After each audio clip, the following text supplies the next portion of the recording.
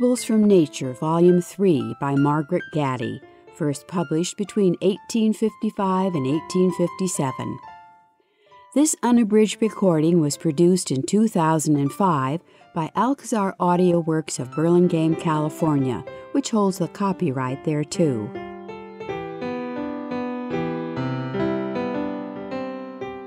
Purring when you're pleased. Out of the abundance of the heart, the mouth speaketh. Matthew 12, verse 34. They had been licked over hundreds of times by the same mother, had been brought up on the same food, lived in the same house, learnt the same lessons, heard the same advice, and yet how different they were. Never were there two kittens more thoroughly unlike than those two. The one with an open, loving heart, which never could contain itself in its joy, but purred it out at once to all the world. The other, who scarcely ever purred at all, and that never above its breath, let him be as happy or as fond as he would.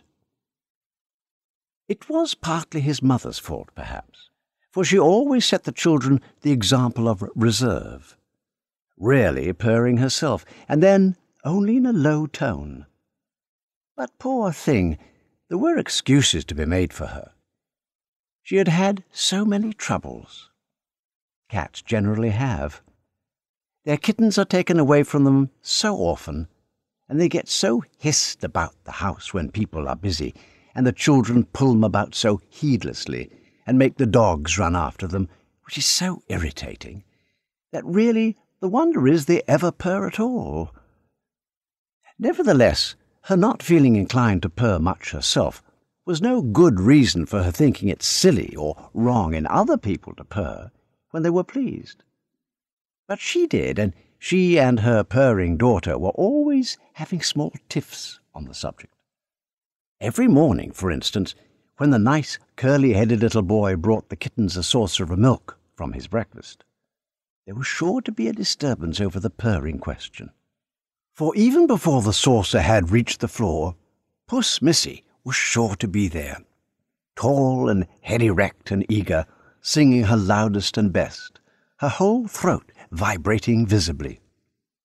While Puss Master, on the contrary, took his food, but said very little about it or, if ever tempted to express his natural delight, did it in so low a tone that nobody could hear without putting their ears close down to him to listen.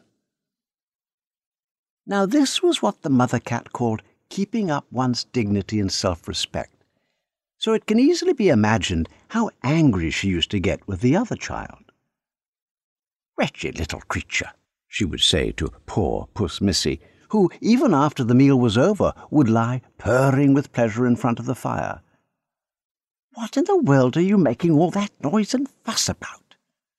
Why are you to be always letting yourself down by thanking people for what they do for you, as if you did not deserve it and had not a right to expect it? Isn't it quite right of them to feed you and keep you warm?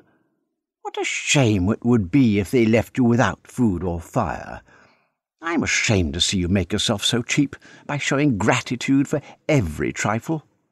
For goodness sake, have a little proper pride, and leave off such fawning ways. Look at your brother, and see how differently he behaves. Takes everything as a matter of course, and has the sense to keep his feelings to himself. And people are sure to respect him all the more.